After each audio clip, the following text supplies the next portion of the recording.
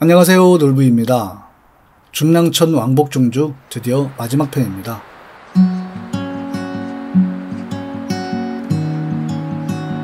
오늘은 서울과 의정부의 경계 지점인 장암대교 아래 창포원을 출발해서 한강과 중랑천이 만나는 끝지점 용비교까지 걸어서 왕복 중주를 마무리할 예정인데요.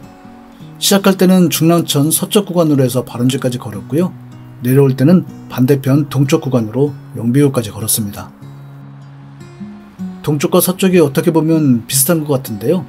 그래도 걸어보니까 꾸밈새나 그 느낌이 조금은 다른 것 같습니다. 오늘 중랑천 동쪽 구간의 다양한 모습과 사연들을 만나보도록 하겠습니다. 마지막 편 편집을 하면서 지난 모습들을 다시 보니까 뭔가 모르게 가슴이 뭉클해집니다. 영상 후반에 이 중랑천을 걸으면서 가졌던 생각들을 말씀드려볼까 합니다. 금계국, 미국 숙구쟁이나 이런 벚꽃들은 이 동쪽도 여전합니다. 운동시설이나 주변 환경은 그 지역의 환경에 맞게 설치 운영되고 있는데요. 확장이나 보강공사가 진행 중인 곳도 많습니다. 이번 중랑천 영상을 만들면서 여러 자료나 영상을 봤는데요. 거리부터 정확하게 일치하는 부분이 그렇게 많지는 않더라고요. 저도 이런 자료들을 참고하기 때문에 사실과는 조금 다를 수 있다는 점 참고해 주셨으면 합니다. 창동교를 지나니까 이렇게 넓은 보리밭이 있는데요. 청보리도 있지만 모양이 달라서 자세히 보니까 대부분은 호밀인 것 같아요. 의정부 구간에도 청보리밭이 있었는데요. 이곳이 훨씬 넓고 더 풍성하게 자란 것 같습니다. 이 노원굴은 나무 한 그루 한 그루마다 이렇게 정성들을 관리를 하고 있네요. 중랑천 양쪽으로 여러 곳의 자치구를 지납니다. 경기도는 의정부와 양주가 있고요. 서울은 8개의 자치구가 섞여져 있는데요. 모두 중랑천 관리에 정말 심혈을 기울이고 있다는 느낌을 받았습니다. 의정부와 양주도 물론 관리를 잘하고 있는데요. 아무래도 서울 유역이 면역도 크고 인구도 많아서 관리를 조금은 더 신경 쓸 수밖에 없는 환경인 것 같습니다. 비교를 하는 게 좀 의미는 없는데요. 특히 이 노원구 중랑구가 관리에 정말 진심이다. 이런 느낌이 들었습니다. 아침 일찍부터 많은 분들이 나와서 꽃을 하나하나 다듬고 계시더라고요. 그런 관심과 사랑을 받으니까 꽃이 더 싱싱하고 예쁠 수밖에 없는 것 같습니다. 또 이런 편의시설도 아주 잘 구비되어 있고요. 도봉동 부근에서는 이 중랑천을 서원천이라 불렀고요. 창동과 상계동 일대에서는 한내, 한천이라고 불렀는데요. 이는 한강의 지류라는 의미를 가지고 있다고 합니다. 조선시대에는 중량, 충량이라고도 불렀다고 하죠. 특히 이 중량이라는 표기는 조선 초기의 문신이었던 변중량의 이름을 따서 지었다는 설도 있습니다. 이 중량천에 쌓이는 모래가 그 질이 아주 좋아서 이 모래를 원료로 한 벽돌 공양이 발달을 했고요. 면목동과 성수동 일대 벽돌 공양이 아주 많았다고 합니다. 지금은 대부분 사라졌는데요. 2000년대 이후에도 이 벽돌 공양이 있었다고 합니다.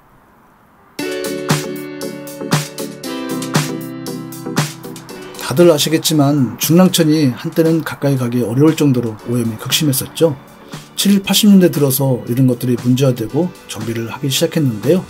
제 기억으로는 80년대쯤인가요? 한강부터 손을 대기 시작했고요. 특히 아시안게임 올림픽을 기점으로 이런 환경적인 문제가 크게 대두되면서 난지도나 우리 주변 하천들의 정비가 본격적으로 붐을 들인 것으로 기억되고 있습니다. 그동안 여러 노력 끝에 오늘날 이렇게 멋진 모습으로 탈바꿈을 했습니다. 이번에 중년천변을 따라 걸은 거리를 계산해 보니까 77km가 조금 넘었는데요. 물론 실제로 걸은 거리는 조금 더 되겠죠. 코스 전체가 깨끗하고 야생화가 만발해서 너무 좋았는데요. 가을에도 참 좋을 것 같습니다. 트레킹 좋아하시는 분들에게 가을 트레킹 코스를 추천드리고 싶은데요. 물론 다 돌아보셔도 좋겠지만 좋은 곳들만 찾아가 보시는 것도 괜찮을 듯 싶어요. 그래서 다음 영상에 구간별로 좋았던 것들을 추려서 올려볼 예정입니다. 이 광진구 지역으로 들어오면서 생각지 못하게 장미정원을 만났어요.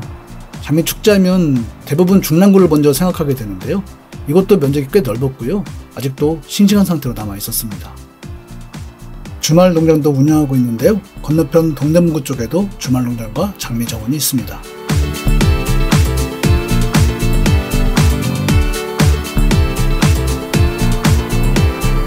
성동구 동쪽편, 특히 성동교 용비교 부근은 현재 이런저런 정비를 하고 있고요. 특히 이곳 송정 나들목부터 용비교 아래 목교까지는 자전거 도로는 있는데 인도가 부실하거나 아예 없는 곳도 있어서 좀 조심할 필요가 있습니다.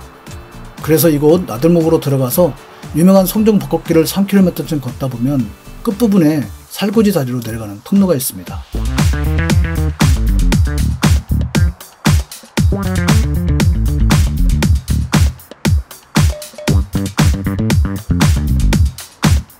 이렇게 지하도로 내려가면 살구지 다리가 나오는데요. 이것부터 왼쪽 용비교 방향으로 자전거 도로를 따라서 약 1.5km 정도 조심스럽게 걸어가도 되고요. 아니면 살구지 다리를 건너서 용비교로 가서 뭐 그곳에서 마무리를 하거나 편의점 앞에 있는 목길을 건너서 다시 동쪽으로 건너온 다음에 마무리를 할 수도 있겠습니다.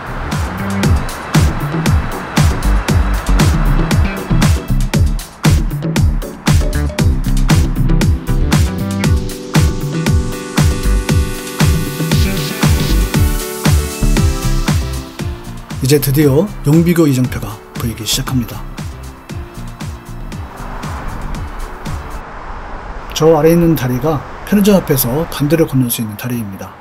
살구지 다리를 건너갔다면 이 다리를 건너와서 오른쪽으로 용비교 아래까지 갈 수 있습니다.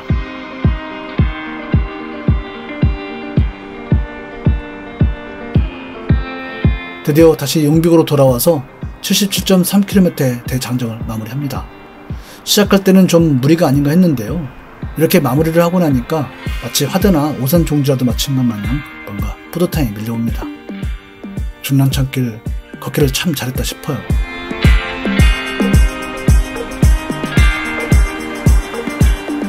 여러 곳의 자치구가 정말 한 땀 한 땀 매듭을 엮듯이 관리를 해서 중랑천이 이렇게 맑고 깨끗한 환경으로 돌아왔고요. 지자체마다 특색 있게 화단도 가꾸고 꽃도 심고 테마 정원도 만들었고요. 또 수영장이나 운동시설부터 주말 농장이나 교육시설, 편의시설도 만들었고요. 그리고 여러 행사도 자주 열어서 지역 주민들이나 방문객들이 이곳을 잘 이용할 수 있도록 많은 노력과 연구를 하고 있다는 것을 곳곳에서 느낄 수 있었습니다. 그런데 정작 이곳의 아름다움과 이곳을 가꾸는 이들의 노력에 비하면 오히려 덜 알려져 있는 것 같은 아쉬움이 있었습니다.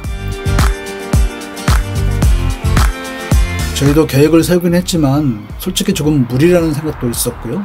또 별다른 의미가 있을까라는 생각이 들어서 그냥 바람지나 찾아보고 힘들면 멈추자 하는 정도였었는데요.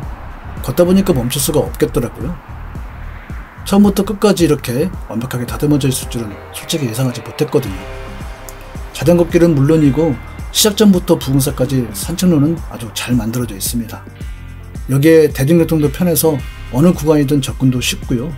또 걷다가 잠시만 밖으로 나가면 이용할 수 있는 편의시설도 많아서 기본적인 환경은 어느 둘레길이나 트레킹 코스보다 좋은 조건을 가지고 있다고 생각합니다. 그리고 보셨겠지만 걷는 내내 볼거리도 참 많았고요. 이제 시작점 끝점부터 명확하게 만들고요. 의정부 지역은 소풍길이라고 하는데요.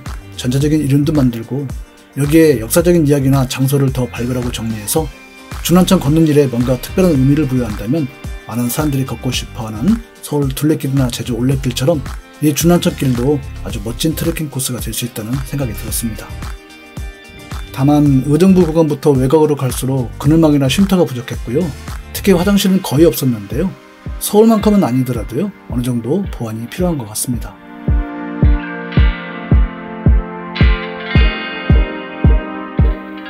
얼떨결에 시작한 코스였습니다. 날이 좀 더워서 걱정했는데요.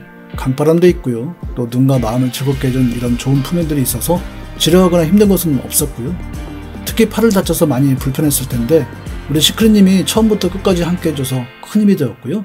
덕분에 이렇게 즐거운 시간을 가질 수 있었습니다. 비록 많은 관심을 받지 못했는데요. 저희에게는 이 중랑천을 새롭게 발견한 기분이라서 아주 즐겁고 행복한 시간이 되었습니다. 유명한 곳을 찾는 것도 물론 좋겠지만 이렇게 조금 덜 알려진 좋은 곳을 찾아보는 것도 여행의 즐거움이고요. 또 의미 있는 일인 것 같아서 가끔 이런 기회를 만들어 볼 생각입니다.